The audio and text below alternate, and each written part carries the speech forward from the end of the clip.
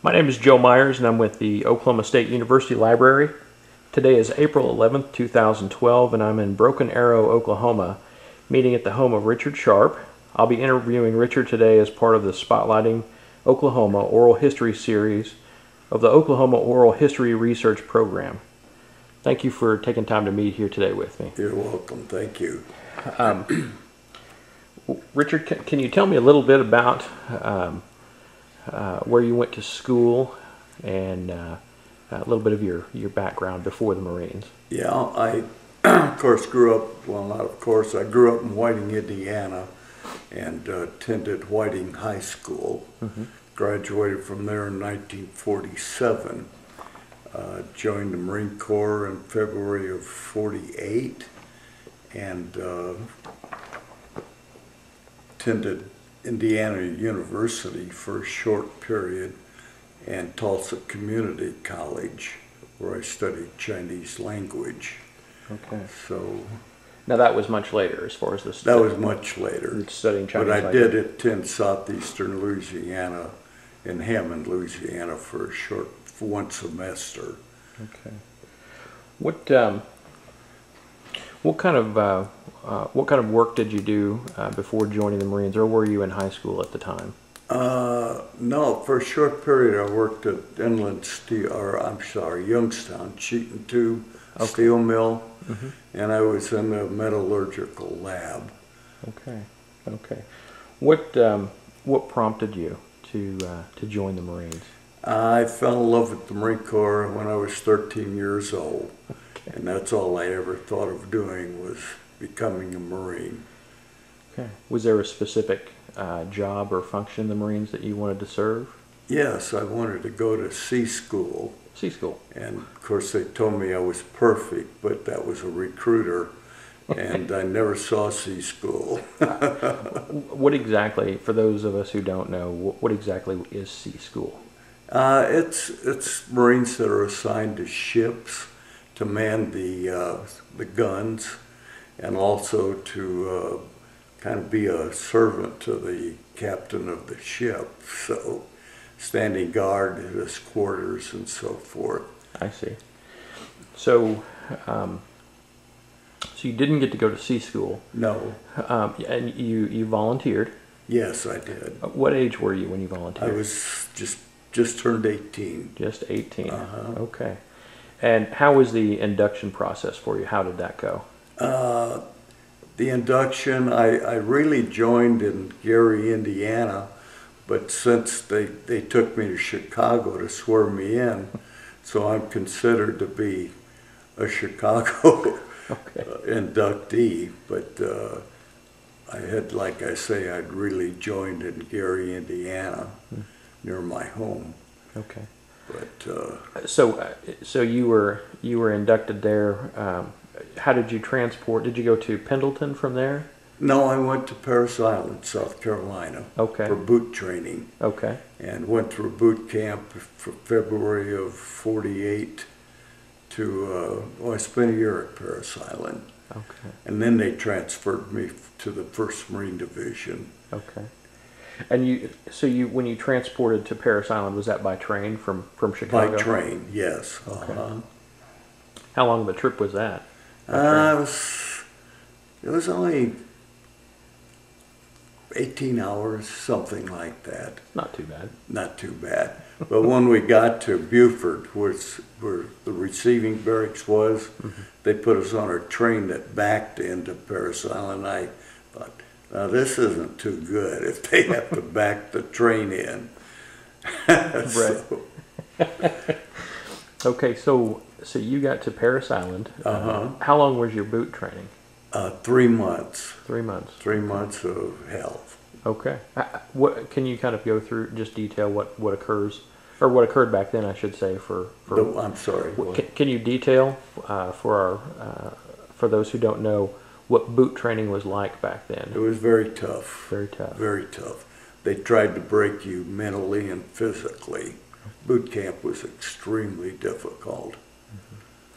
So at, at boot camp, um, is that where everyone learned to fire the BRM and or uh, fire the uh, fire uh, weapons at that time? yes, we I fired, uh, qualified with the M1 Garand, Oh, see. which I think's the finest weapon that ever was designed. How many how many rounds would that hold? The, uh, How many M1? rounds? Yeah. We fired 80 rounds for qualification. My goodness, Uh huh. that's quite a bit. Um, after after qualifying, um, what kind of training, specific training, did you have to go through at uh, at boot camp? Oh, it You, was you recall? a lot of marching, a lot of running, a lot of saying yes sir, no sir to everything and everyone. So it, it was quite an experience. A lot of drill and ceremonies. Then, Oh yes, yes. did you uh, did they teach many tactics at that point? In No, not at that point. I see. Uh-uh. Where where did, where did you pick up your tactical training? I'm sorry. Where where did you pick up your tactical training at? Oh, at per, at Pendleton. At Pendleton. At Camp Pendleton. Okay. I was split. I was uh, squad leader of the first squad in boot camp, Mm-hmm. so uh, kind of got a taste of being in charge I see. at that period. Okay. So after after boot camp, did you remain or retain that uh, that squad leader position when you went to your uh, uh, your secondary training? No, I didn't. Okay. And that was at uh, Pendleton after that, correct? Pardon. That your your continuing training after boot camp was at Pendleton? uh-huh. Yeah. So at Pendleton, that's actually where you learned your military job. Yes. Uh huh. At Pendleton. What what was your military job at that time that they were Uh, training you for? machine guns, Machine like 30 caliber machine guns. Okay. Um, and that so that's what you carried for the for the the uh, the remainder of the, the time that you were in Yes, service. uh-huh. Right. Was that a was that a uh, tripod mounted or a ground mounted? It was tripod mounted. Okay. Now, I've, I've got to go back a little bit. I, I misstated something there. Sure. We were, I was actually at first the stretcher bearer. Oh. So Okay. the training there was, you know, not very difficult. You picked the guy up and Right. lugged him off the hill. But then later on, we- became machine gunners, light 30. Okay. So so how long was that training at Pendleton? Uh, for, I had been there a year and a half when Korea started. Mm-hmm. So What unit were you assigned to there at Pendleton, but prior to the war? at? Pendleton, Yes. We were we were part of uh, Seventh Marines, Okay. three seven, Three seven. Third Battle Battalion, Seventh Marines. Uh-huh. Okay.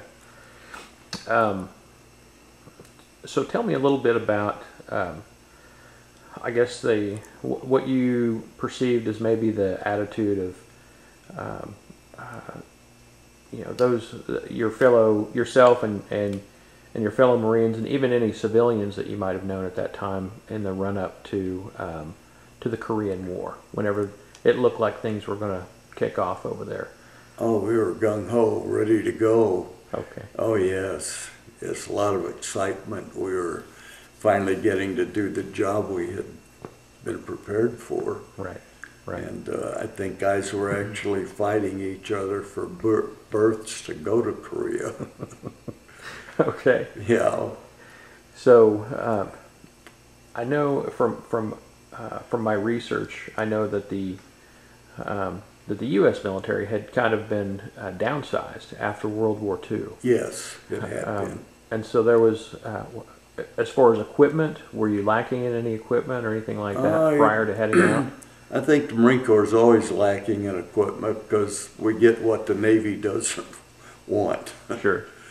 But uh, as far as ammunition and, and weapons and all, we were well taken care of. Okay, okay.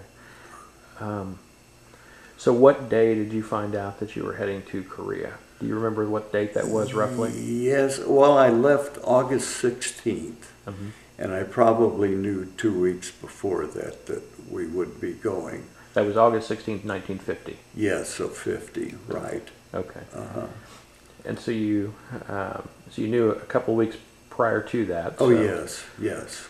So August sixteenth, uh, you're boarding boats to head out. Uh, We're boarding ships. ships. Okay. Okay. What kind of ships uh, did you brought you Uh. APAs, attack transports. okay. Yeah, Okay. How long was that trip coming over? 16 days. 16 days, my Uh-huh, goodness. yeah. Uh, We docked at Kobe, Kobe, Japan, hmm and uh, reloaded the ships for, for a combat landing, hmm and uh, got back on the ships and took off for Korea, and uh, arrived there on September 15th. Wow. Wow. So, so you arrived September 15th. Um, when, during your transport over prior to reaching Kobe, Japan, um, was there any continued training or? No, not, there wasn't. Okay. Now, some of the guys did, a lot of the fellows who were reservists, they'd never fired the M1 or any weapon. And uh, they did have some training where the fellows would fire off the, the uh, ship Mhm. and uh, get a little bit familiar with their weaponry. So that, that training was that primarily conducted by the uh, um, the regular Marines? Oh, yes, by already been regular? Marines, uh-huh. Okay. Um, how about your your sleeping quarters uh, on those ships headed over? The what? Your sleeping quarters on the ships headed over. How were those? They were six, we were stacked six high. And uh, there was just about enough room, and you had your sleep, I mean, your uh, sea bag in between your legs. So everybody had their sea bags, and there was, these things were six high. So you wanted to try to get one of the lower bunks. 'cause it was quite a chore to get up to the, the sixth rack. I'll bet. So were there? Um, uh, see, were you were you hot racking it? Were there guys in the racks during the day that would rotate out, or, or anything oh, no. like that? No, no, we did not do that. Okay. Uh-uh. Yeah. Now I slept topside. I didn't want to be down below quarters. Okay. So I'd sneak up and sleep under a landing boat or something. I see. I see. Did many many of your uh, uh, fellow Marines do that? Kind of get out of the.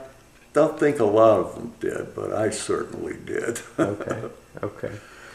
So so you land in Kobe, and then 16 late days later, you're you're heading out uh, for uh, for Korea. For Incheon. For right. Incheon, Uh, okay. The invasion of Incheon. Okay. Uh, let's talk about that for a little while. Um, Okay. What were um, what were the preparations like getting ready for, for that Battle of Incheon? Uh, not a whole lot. We'd, we'd been trained thoroughly back in the States, except for the reservists. Mm-hmm. And a lot of them were just went in cold. Hmm. Okay.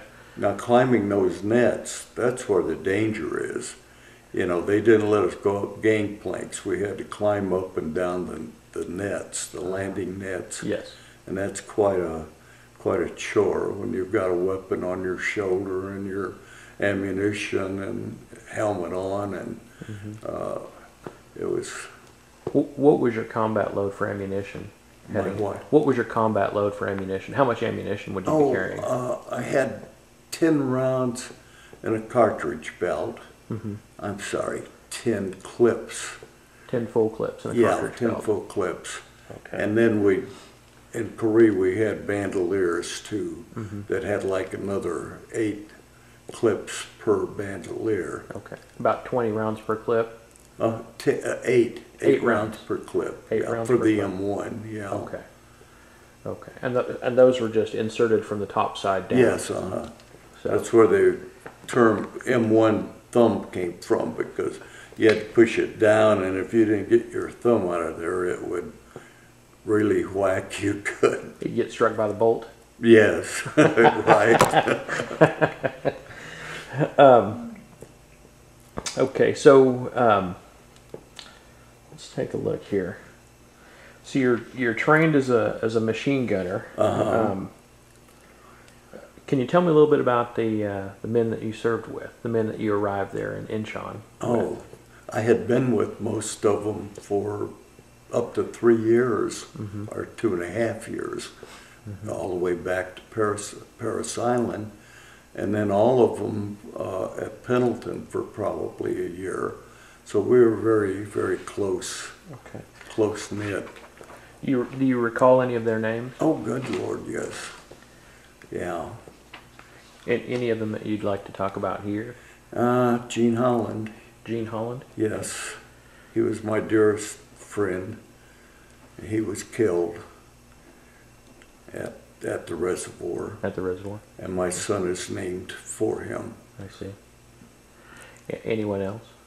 Uh, yeah, there's just scads of them. Uh, Okay. like I say, we'd been together for for some up to three years with some of the guys. Okay. But Gene was my my best friend. Okay. What was his function? What was Oh. his What was his job as well? He was machine gunner. Machine gunner also? Yeah. Okay. He was killed on my gun. Hmm. I see. Yeah. I see. How, how did that occur? That Uh, we it was between Hagaru and Kotori Mm-hmm. where the Chinese hit us really hard. and during the fight, uh, I don't know if it was a mortar round or a grenade or what, but I heard him when he got hit. I was maybe 10 foot, feet away, Mm-hmm. and I heard him say, ow, I think I'm hit. And he, and he died. So he was only 20 years old. where was he from? Do you He was from uh, California, okay. Pasadena. Okay. Wonderful boy. Okay. His family, though, were from Oklahoma. they were, he was part Choctaw Indian. I see. Uh huh. I see. Well, that makes sense. That him being from California and part Oklahoma, and may he may have had relatives that were that headed out after the uh, or during the Dust Bowl. Yes. Uh-huh. Sure. Okay. Um, so let's go. Let's st- step back just a bit to the Battle of, of Inchon and start Okay. there, and, and then we can go forward to uh, the Battle of Chosin. How long were you were you engaged in the battle there at Inchon? At Inchon, it, it was over. Uh, it really was two battles. The battle, the original one was Wolmido, which was an island uh, guarding the harbor at uh, Inchon, and the Fifth Marines went in and took took Wolmido, and we went in two days later to Inchon, and immediately start, got on trucks and went toward Seoul Hmm. and we recaptured Seoul uh, How lo- after that. How long was that? How long was that process uh, as far as the Um, battles in Seoul to take Seoul down? Probably two, two to three weeks. Okay. Okay. So that would have put you well into October by yes, that time. uh huh, yeah. Okay. Um, anything significant from from the uh, the retaking of Seoul that, that comes to mind? The what? Anything significant from your experiences there in Seoul that comes to mind? Uh, yeah, I had a very significant thing happen to me. I picked up a little Korean whose parents had been killed, Mm-hmm. and uh, I kept him with me and kept him supplied with food and all till till we left two weeks later. His name was Butchie, Butch, and uh, it broke my heart when I had to leave him. He was only like eight years old, Oh my. no parents, Oh, no one to take care of him. Was, there anyone that you were able to leave him with, or? I did. I left him with uh, some Korean civilian workers, and two months la- or a month later at at Chosin Reservoir, I was up at Chosin at that time, and some of my buddies were back at Hung Nam, and guess who showed up? Butch. He rode trains. He hitchhiked he, till he found my buddies, and they told him that I was up north and he kind of disappeared after that. So whether he went up north trying to find me or not, I never did find out. Wow. Wow. So, uh, see, when you arrive uh, initially for the, the move forward to uh, Chosin, what, Yeah. what what was the initial plan? Heading, What was what? What was the initial plan heading up there? Of at Chosin Mm-hmm. was to drive up to the Yalu and drive all the North Koreans. Of course, at that time we were start, still fighting North Koreans, Mm-hmm. and not Chinese. They didn't enter until we we got up to uh, Hagaru and Yudam-ni. Mm-hmm. So you're um, you're traveling north there. Uh, at what at what date uh, do you remember that you you arrived at Chosin initially? Uh, let's see. And you were with the two seven at that time, right? Yes, uh huh. Okay. Um, I must have gotten up there. Oh, I know when it was. Let me backtrack just a little bit. Sure. It was Thanksgiving night when they called my gun. We were still at Hung Nam, and they called us and told us to be ready to go north the next morning. So that would have been November 24th or something like that. And uh, the trip up to Chosin was, I went up by truck. It was not that long a trip. It was like 75 miles. That was from uh, uh, to to Hagaru.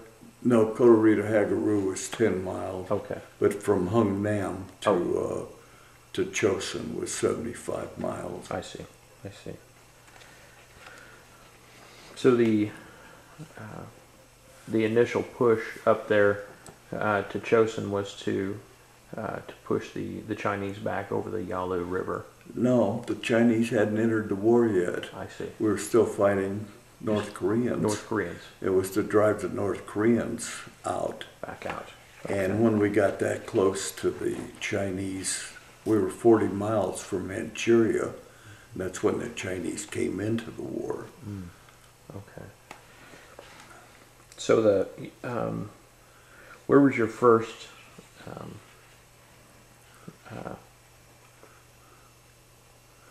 uh, conflict? I, I guess, or what, Mhm. where did you run into your first um, um, resistance? I guess from the At- from the North Incheon. at Incheon. Yeah. Okay. But at Chosin, it was uh, November 27th when they hit us. Mhm. The Chinese hit us hard Mhm. on November 27th. Can you can you talk a little bit about that? Just kind of detail what what occurred on the twenty seventh of November. Uh, yeah.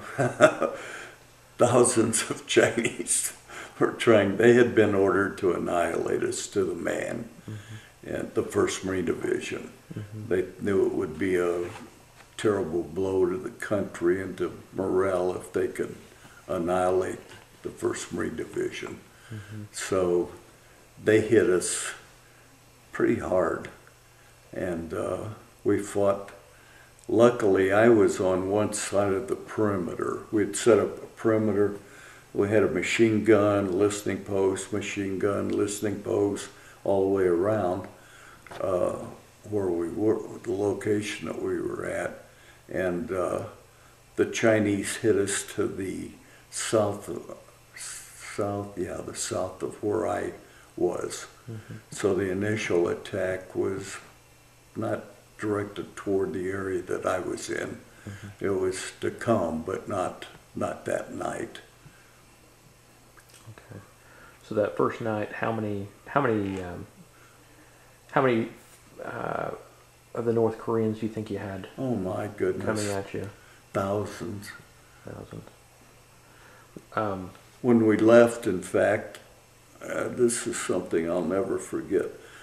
We uh, were pulling out of Hagaru to go back south, and there were Chinese dead laying on the road that had been smashed flat by our tanks and traffic.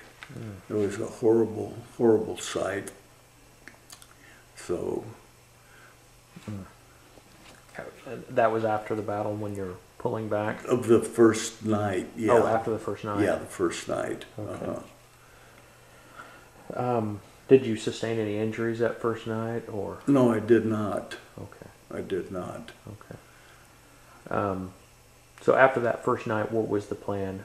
Uh, after pulling back just a bit. Well, we, we stayed and fought uh, for a few more days until we were ordered to to come go back south to Hung Nam, Okay. and uh, and that's when my major battle was between Hagaru and, and Kotori. No, between Hag. Yeah, between Hagaru and Kotori.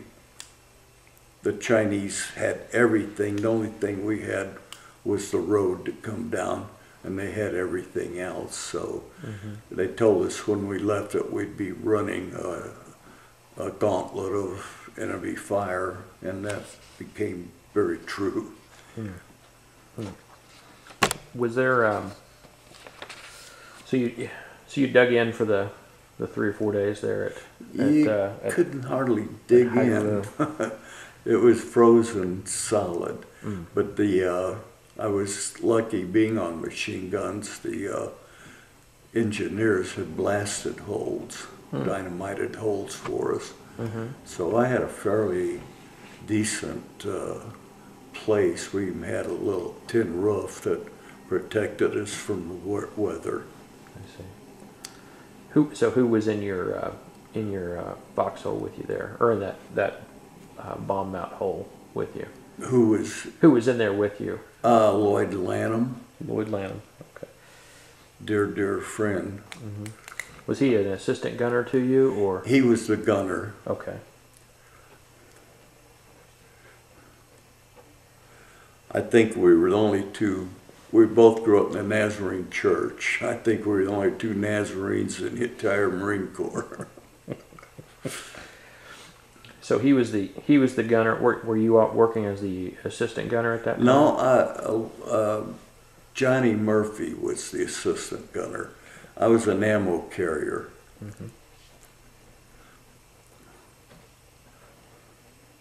Did you? MOS was machine guns, but I was an ammo carrier.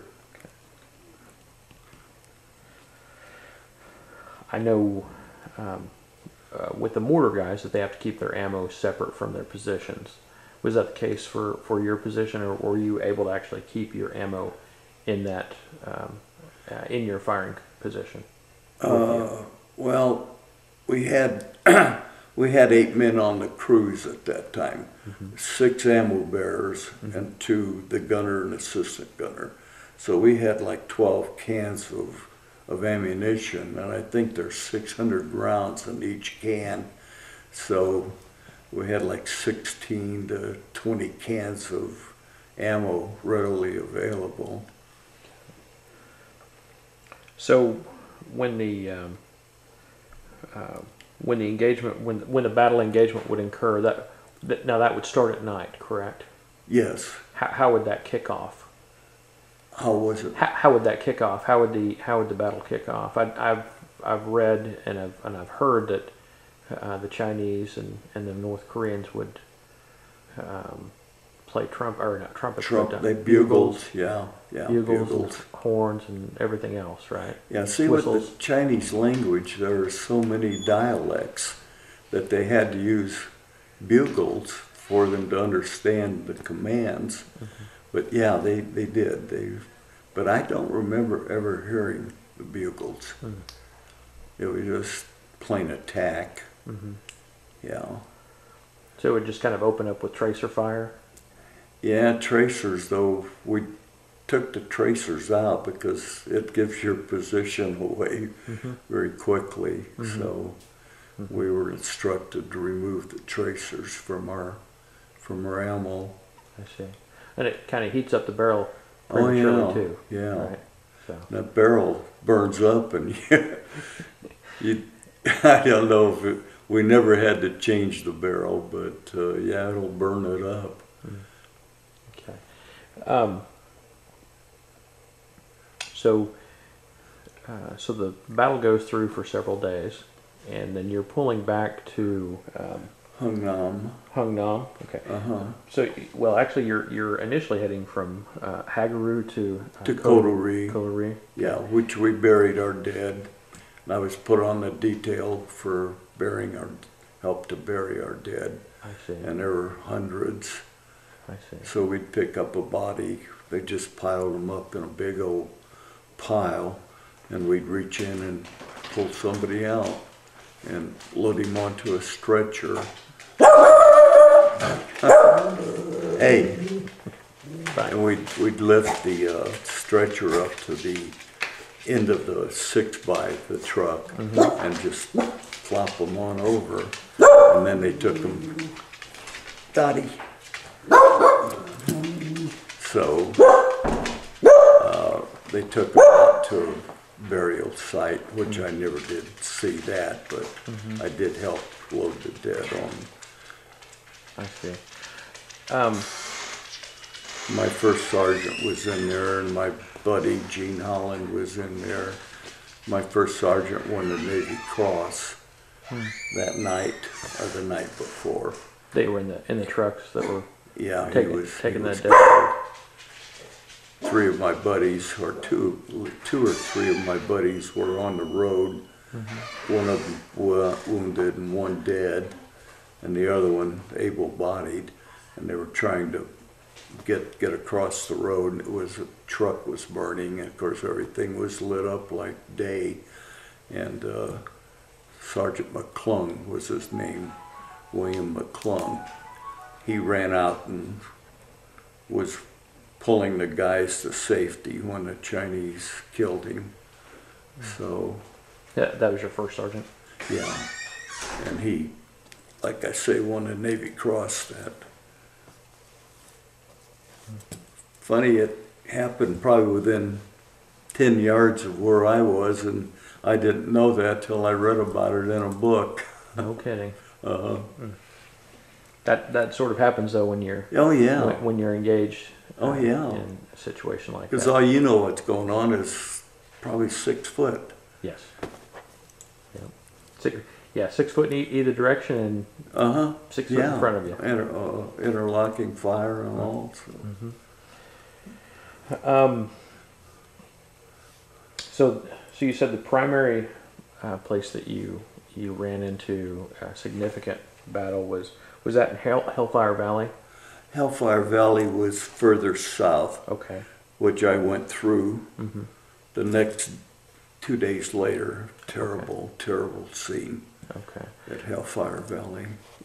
Can you tell us about that significant uh, part of the the retreat back prior to getting to Hellfire Well, Valley? Hellfire Valley was took place when the uh, relief column tried to fight into us, and the Chinese just slaughtered them.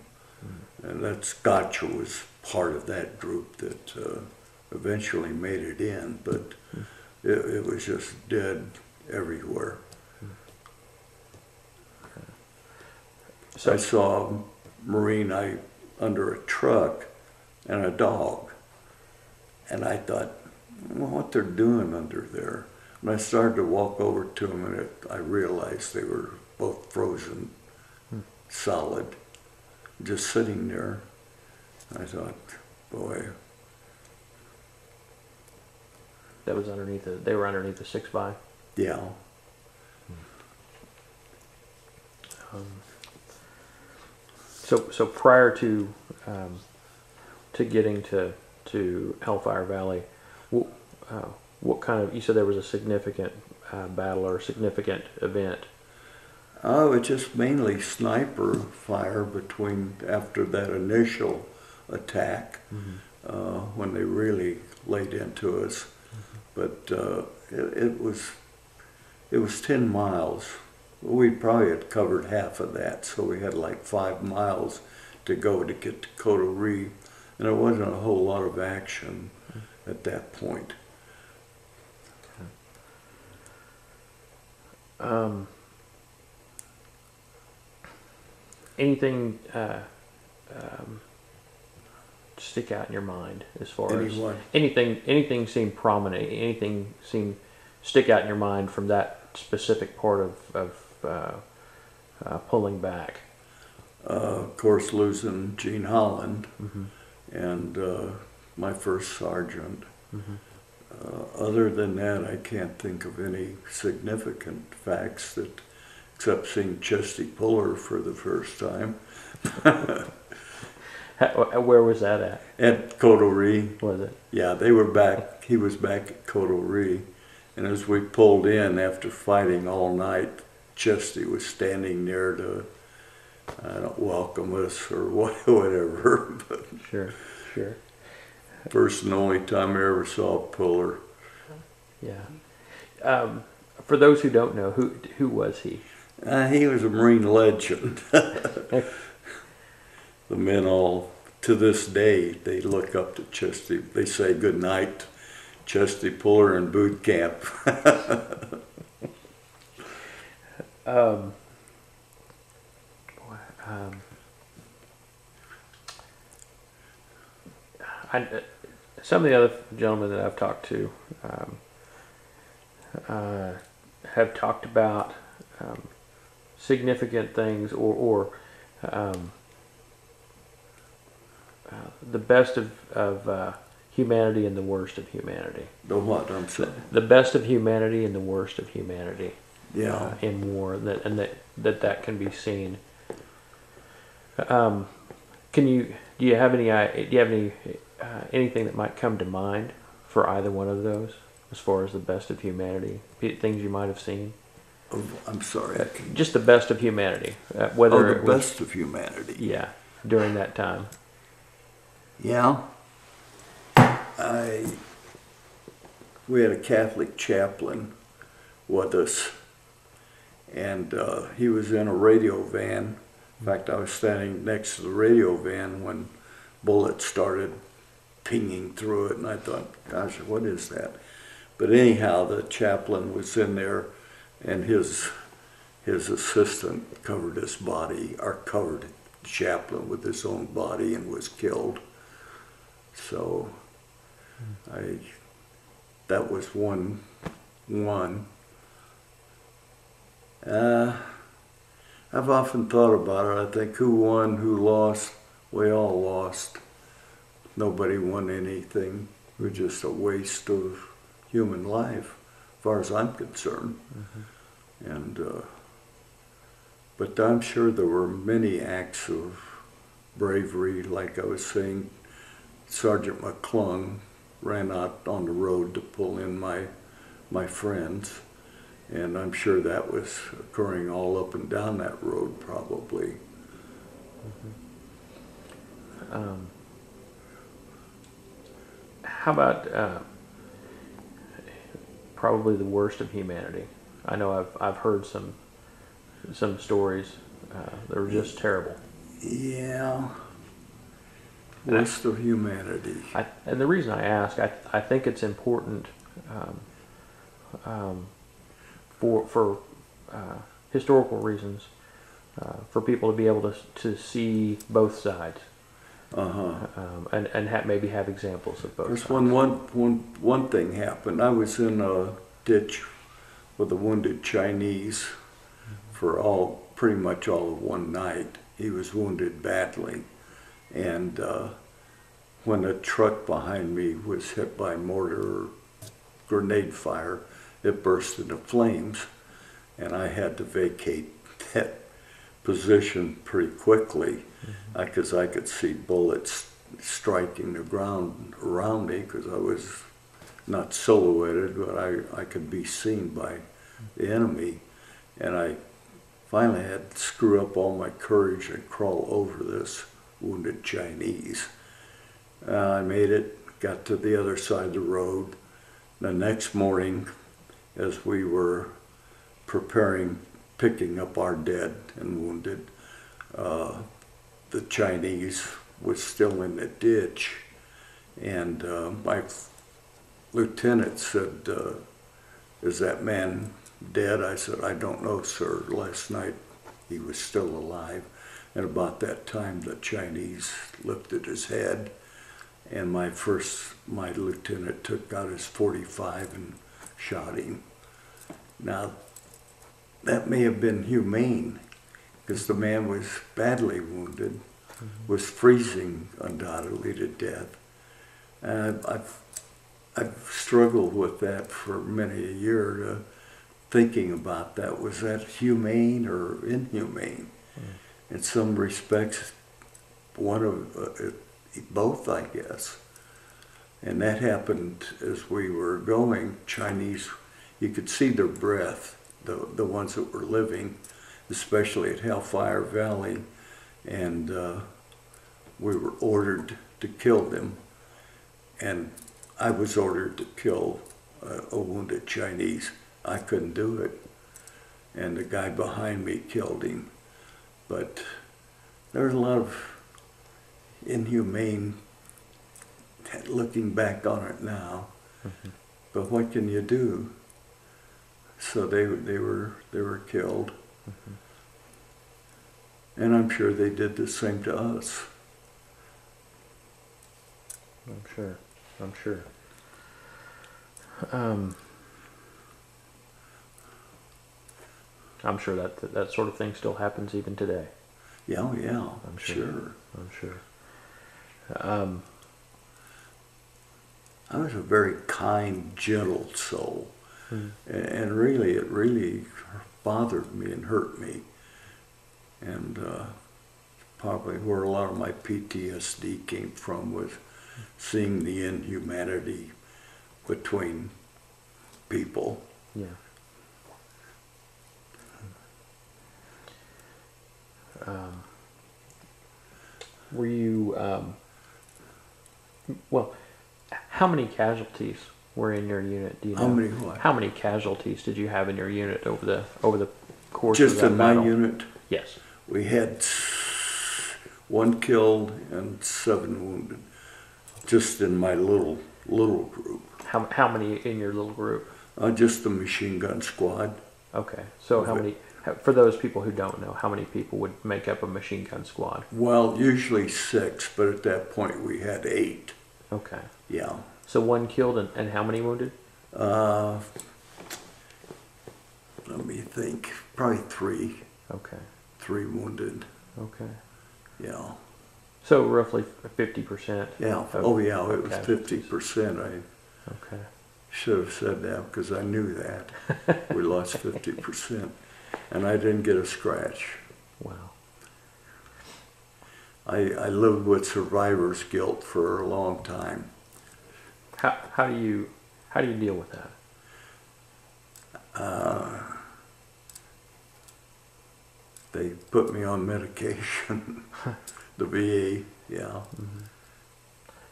So what kind of uh, uh, with the survivor's? What, what kind of uh, outward effects? Uh, just complete. Uh, for example, I might be walking on a beautiful spring day. I remember this happening, and uh, just really enjoying it. And all of a sudden, it was like a sledgehammer had hit me, and I'd go into deep, deep depression, and uh, just thinking a beautiful day that all the carnage and everything that I had seen uh, really would go into deep depression. And I had a bad habit of, I had like three books on Chosin, and I would read them and read them and reread them, like I couldn't let go. So,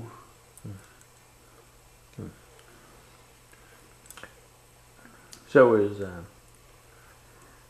sitting and talking about uh, with with with uh, the guys from the group here in town. Does that uh, do you ever sit and chat about those things, or no, we don't. you don't? We never, Chosin never comes up. No kidding. Uh-uh. No. It, it's strange. I've, I've, we just get together and enjoy, just enjoy each other. Right. And uh, nobody ever, I can't remember anybody ever mentioning Chosin. Yeah. Because we have a prayer, hmm Pledge of Allegiance, and then a prayer for our departed comrades. And, Sure. and uh, other than that, no. Uh-uh. I'll be. Now, how are you going to talk to another guy about, oh, let me tell you how cold it was? he knows how cold it was. exactly. Hmm. So, so um, uh, as far as the the uh, survivor's guilt and all of that, Yeah. um, did you uh, of course, you, you said you know he'd gotten some medications. Yes. And w- did you participate in any group kind of therapy or any group talk? I went like to that? group therapy for a while with Uh-huh. Vietnam veterans mostly, Mhm. and I just didn't fit in, so I dropped out. I don't know why. I just felt like an odd man.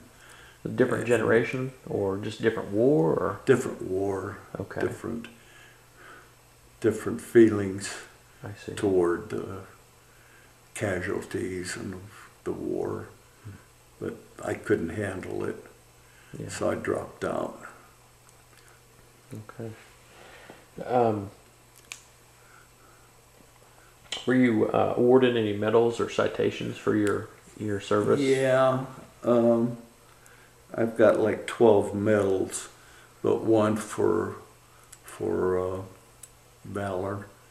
I hate to say that, sound like, but I did receive a medal for valor.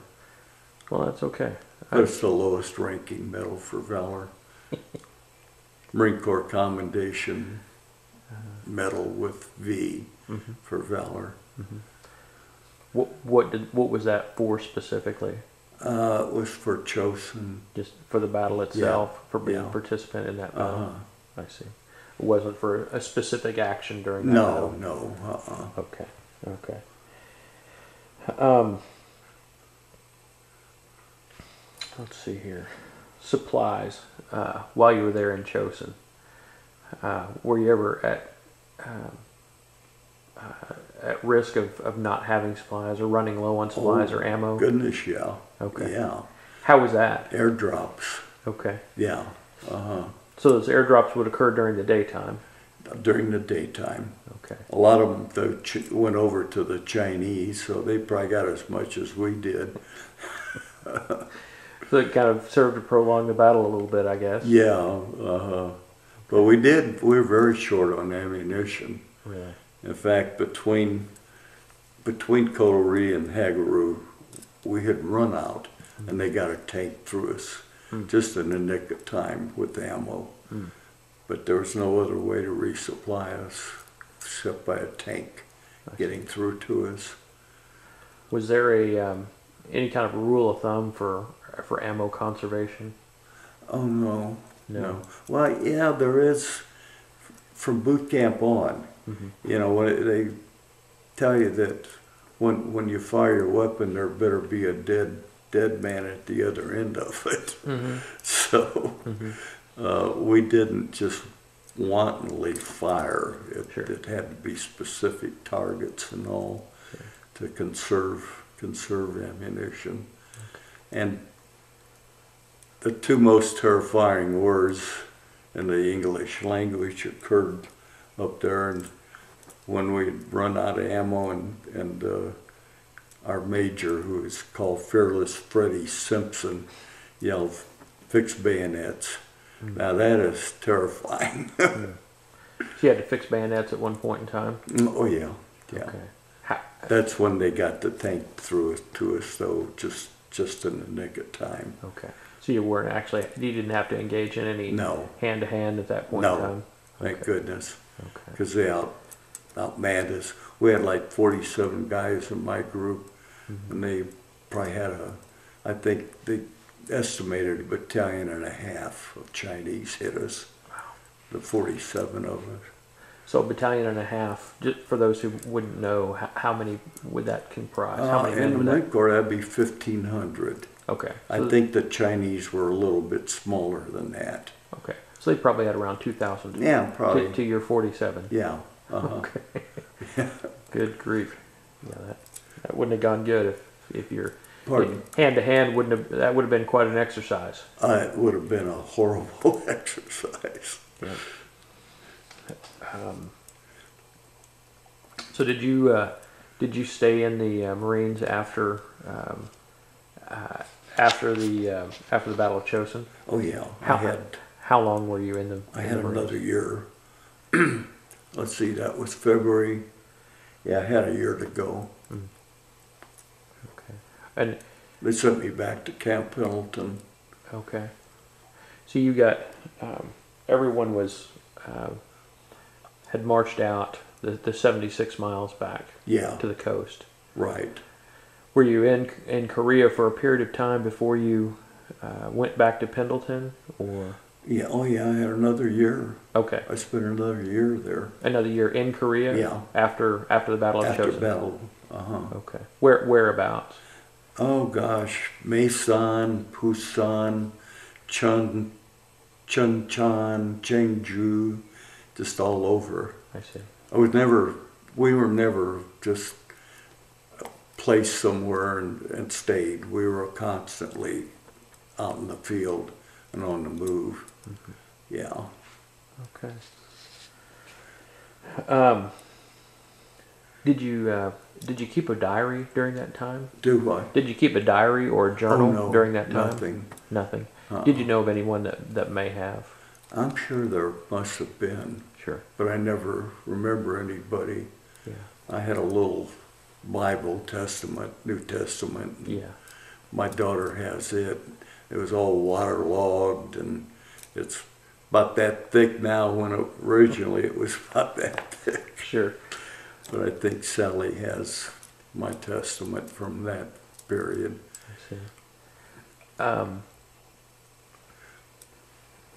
ha, um,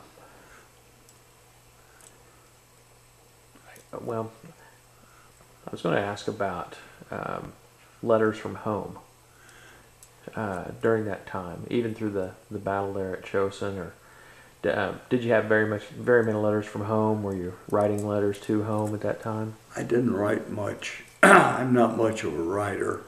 In fact, the Red Cross got on me about writing my mom because I just never, never wrote.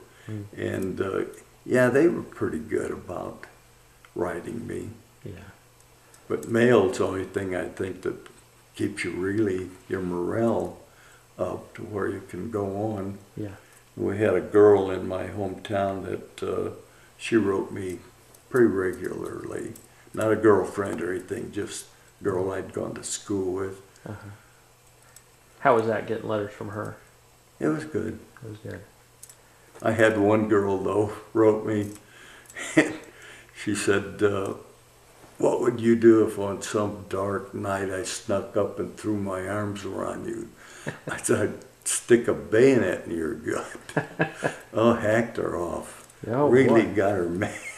That, was by letter that you Yeah? I guess she, I guess she thought we'd make mad passionate lovers. Sure, sure. so, uh, after you you ended your service, that would have been like 1952, probably. 52 I got out. Okay. Yeah, 48 to 52. Okay. What did you do after the service? I went back to steel mills Uh-huh. and worked there for just a couple months and decided to go to college. So I went to southeastern Louisiana, in Hammond, Louisiana. hmm Met my wife, married her, and left school and went back and went back to work. Oh wow. Okay. And um, did you uh, Pardon? uh, did you uh, use the GI Bill at any time to go to school? Yes, I did for a short period. Uh-huh. It paid me, in fact, it paid me more than I did as a PFC in the Marine Corps. Hmm. I made $75 a month in the Marine Corps and I made 117 going to school. so it was quite a step up for me. So, what was the highest rank that you had achieved? Corporal. Corporal. Yeah. Okay. Um, did you join any uh, any veterans organizations later on? Just the Chosin few. Just the Chosin. Yeah. few? Not the uh, No, VFW or the uh, Uh-uh. the uh, American Legion. no, no. An- any reason why?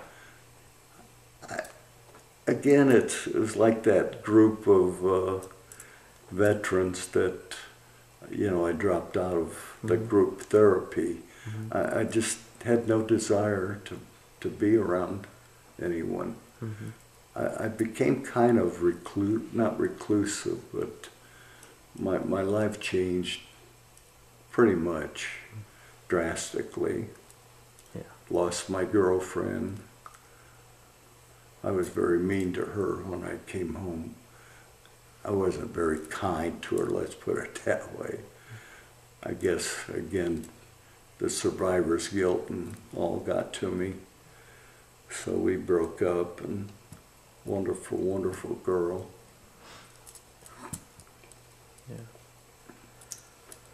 Um, how do you uh, how do you think the that your experience at Chosin um, affected your your civilian life from then going Oh, it's affected it. There's not a, not a day goes by that I don't think of it. Not a day. Good things and bad things, I'm sure. Good things and bad things, because there were good things. There were good things. Yeah. So I don't dwell on the bad things, Yeah, but but they're still there. sure. Did you ever um, have you ever tried to figure out where Butchie might have gone to? Where what? Where, where Butchie might have ended up at? Yeah, we sure did. Me and my wife, we contacted uh, missionaries Uh-huh. in Japan and tried to find Butch, but were unable to. So I hope I hope he made it. When when was that? When did you contact those missionaries? Oh, in that in the 60s? 1952, Oh. after I got out. Uh huh. Okay. Yeah.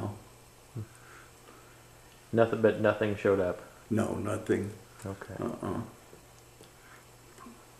I guess just a, a couple more questions Okay. for you. Um, uh, would you would you if you could jump in a, a time travel machine? Would you do it again? Oh would yeah. you go back and do it again? If I could serve with the same guys that I served with, Yeah. yeah, I sure would.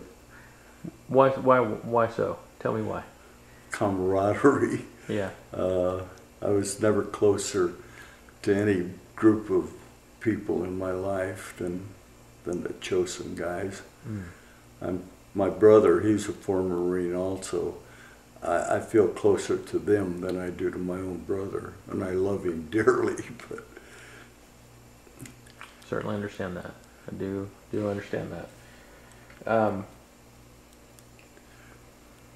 any uh, any words for um, for anyone that might uh, be reading this or listening?